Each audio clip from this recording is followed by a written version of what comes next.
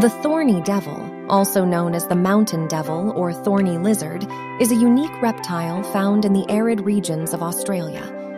Despite its fearsome name, the thorny devil is actually harmless to humans.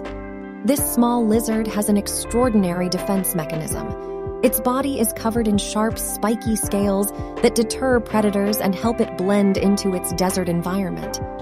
The thorny devil has an impressive ability to collect water. It channels rainwater from its body towards its mouth by capillary action, using grooves between its spines and a specialized network of tiny channels on its skin. This adaptation allows the thorny devil to survive in harsh, arid conditions where water is scarce.